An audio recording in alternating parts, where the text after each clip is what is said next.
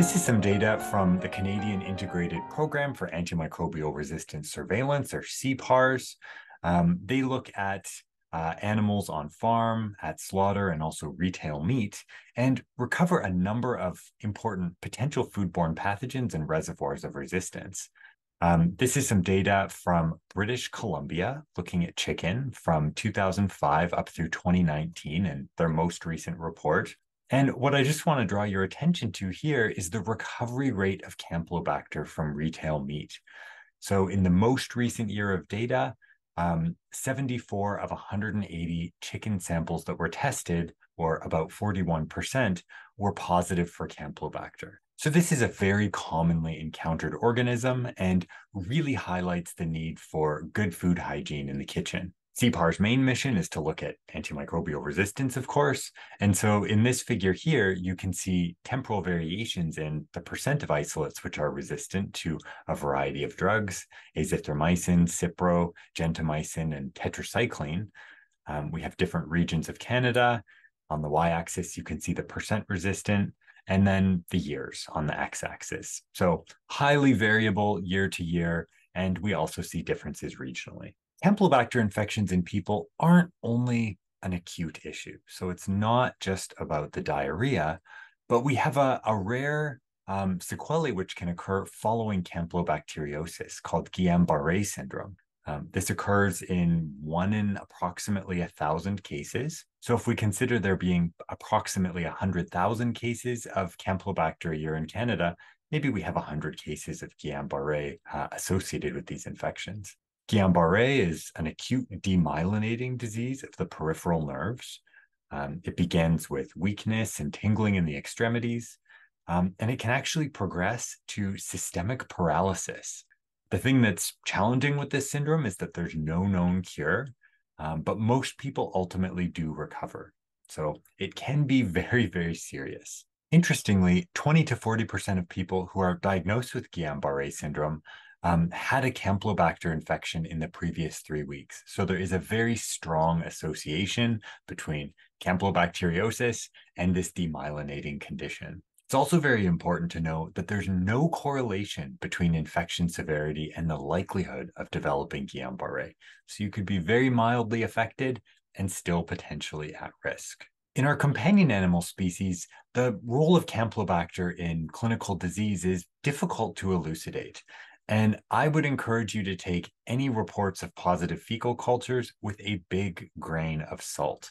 Um, the reason for this is that we commonly find Campylobacter in healthy organisms, so there isn't a clear association with disease. Species which would be considered most clinically relevant would be Campylobacter jejuni, coli, and Upsaliensis. In young animals, we're much more likely to see clinical infections. So animals under six months old certainly can get Campylobacter infections. In our companion animals, the disease is often self-limiting, as in people, um, and so typically we don't use antimicrobials.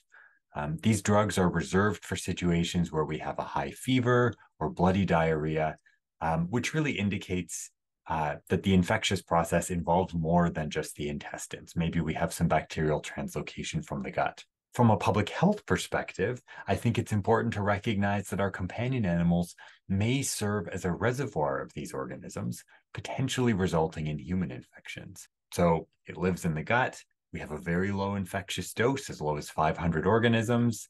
And fecal contamination within the household is certainly something that we probably deal with a lot more than we'd like to think about. The issue of Campylobacter in our companion animals is really highlighted by trends and preferences for people to feed uh, raw food diets to their pets. Um, this study here from New Zealand described the isolation of Campylobacter species from dogs and cats, um, as well as uh, raw meat diets themselves. So I've reproduced this table here. Um, they tested 90 dogs. 36% of them were positive for Campylobacter, and these are healthy animals. 13% for Campylobacter jejuni.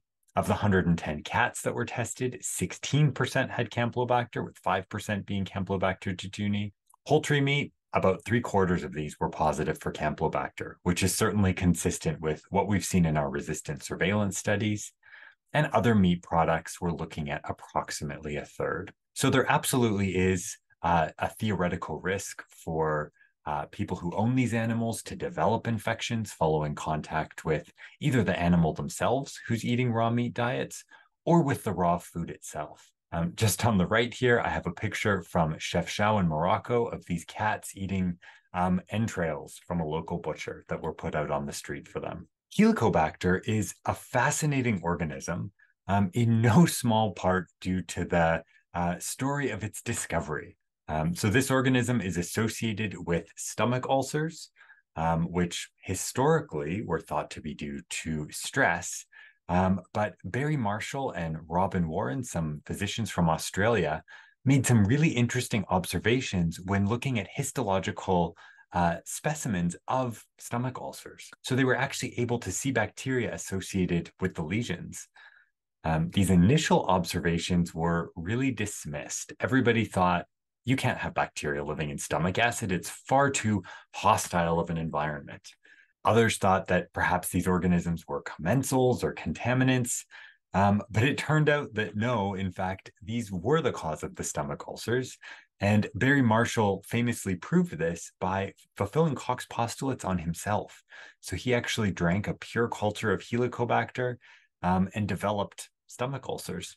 Ultimately, these findings led to the 2005 Nobel Prize in Medicine, so a highly impactful discovery. Helicobacter species have also been found in a wide variety of animal species, and they may also be associated with gastritis in, in these hosts. Um, it's important to interpret positive results in caution, with caution. Um, we can certainly find Helicobacter in healthy animals. And in our veterinary species, the association with disease is really not as clean as it is in people. In dogs, clinical signs which may be indicative of Helicobacter associated disease include vomiting and weight loss. In this table here, I've summarized some of the common uh, host organism associations that are recognized. So Helicobacter pylori, for instance, this is the primary agent in people of gastric ulcers, can also be found in cats, sheep, and non-human primates. Here we have a couple of histological images. Um, on the left, we have one from the stomach of an unknown species. And I think you can appreciate we've got these little structures down here that are associated with bacteria. And then on the right, we have a silver stain um, of a section from a cat stomach. Silver staining is commonly used for looking at spiral shaped bacteria. And I know these can be a bit difficult to see. So if we zoom in on both of them, uh, on the left, you can see these clear uh, spiral shaped organisms um, as you can on the right as well. So histology plays a really important role in the diagnosis of Helicobacter infections samples that you want to collect really depends on what you're dealing with exactly. So in cases of enteric disease, um, feces or a rectal swab can be collected. I really don't recommend doing cultures because they're very difficult to interpret. Um, healthy animals often have exactly the same organisms. So what are you going to do with that culture? If you find Campylobacter, it doesn't mean that it's causally associated with the clinical signs. In cases of reproductive diseases, uh, for females, we want to collect vaginal mucus. For males, preputial washings.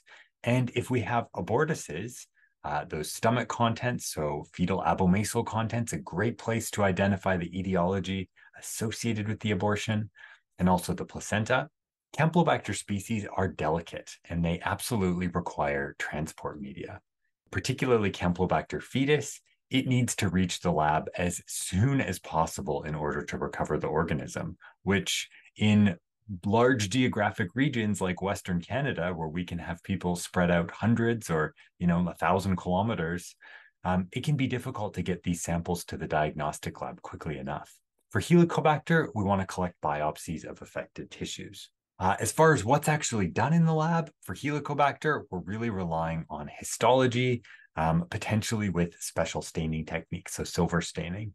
For Campylobacter, culture is absolutely possible. Um, it's going to require some specialized laboratory skills. So you're going to have to know how to work with this organism, working with special atmospheres and, and using these gas pack type um, systems. There's a trick that can be done um, in order to isolate, selectively isolate Campylobacter from other bacteria, which involves placing a, a filter paper on top of the agar plate and then putting your sample on top of the filter paper. Um, because Campylobacter are uh, motile organisms, they're able to swim through the pores that other bacteria aren't able to get through. And that can help to clean up some of the contaminating organisms that may be present in really highly complex samples like feces. Molecular detection is also very, very important, particularly for our difficult to culture uh, Campylobacter fetus subspecies. So this is PCR-based assays. And then we can also do uh, phase contrast microscopy or dark field to see the organisms swimming around in freshly collected specimens. Foodborne Campylobacter is an important zoonosis. So we know this. This is very, very well established. Um, but what about other sources? So potentially pets. Um, I've said that we have healthy carriers very, very frequently. Um, raw food diets are another potential source, especially raw food diets containing poultry. Uh, Campylobacter upsaliensis infections in people may be related to pet contact. When it comes to Helicobacter, um, we do have some species which are found in both humans and animals. So Helicobacter pylori, for instance, is found in cats. Um, and then Helicobacter canis and felis are found in dogs, cats, and people. So while there's certainly the possibility for transmission, I don't think it's nearly as well recognized um, as transmission of Campylobacter species. At present, we have no guidelines for susceptibility testing um, of bacteria isolated from enteric infections in veterinary species. So we have no interpretive criteria, no way to interpret those MICs and say it's susceptible or resistant. So any laboratory reports need to be interpreted with caution. Um, EUCAST does have some intrinsic resistance for uh, Campylobacter, although I think it's important to note that these are based on human resistance breakpoints. So in our Campylobacter species, we'll see resistance to fusidic acid, streptogramins, and trimethoprim. Just one new term today, and of course, a couple of questions for self-assessment.